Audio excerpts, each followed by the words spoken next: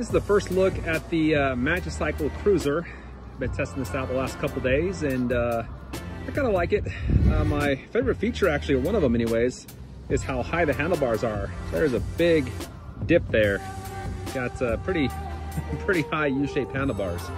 And then the battery too. Typically I don't like batteries on the outside of the frame, but they've kind of sculpted this to blend in with the frame, you know, just kind of looks pretty cool. And uh, then it has a rear rack with a quick release bungee, which I've always liked these. Super easy to just take off and put back on. But uh, yeah, there you go. There's the uh, first look. It's uh, been pretty fun to ride. Really comfortable uh, bike. Oh, and the last thing I wanted to show you guys is the seats. It's kind of hard to see, but it is kind of, you know, has a little dip right there, and it just seems to hold me in place a little bit better than other bikes uh, in the same price range.